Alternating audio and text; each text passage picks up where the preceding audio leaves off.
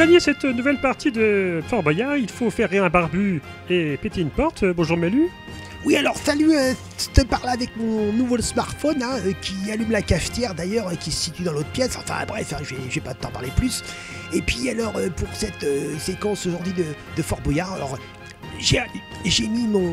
Bah, bien, écoute, mon, mon porte-bonheur qui est une espèce d'écharpe tricolore, voilà. Ok Mélu. Bah écoute, euh, c'est parti. hein. Donc euh, deux objectifs, euh, faire rire le barbu et péter la porte. Allez, c'est parti. Et attendez-moi, bande de nazes Ah, ça le prix d'escalier, hein Hop, hop, hop Allez, et tout Il est où le barbu?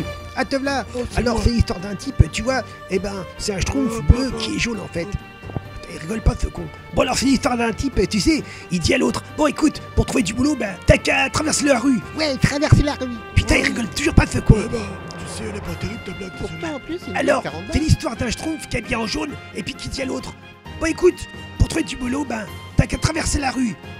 Et, et en courant en plus, hein En courant Ah putain, je suis pas arrivé à faire euh, rire le barbu. Allez-y, on, on défonce la porte. Allez, Crac, putain, crac, allez, crac, allez, crac.